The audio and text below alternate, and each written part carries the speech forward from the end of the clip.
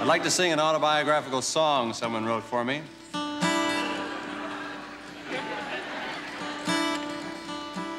When I was a younger man, every night I kissed a strange girl. When I was a younger man, every night I kissed a strange girl. The same girl, but she was strange.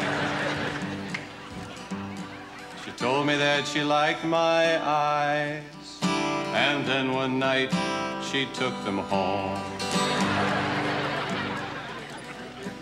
I know that I will never find another girl with eyes like mine.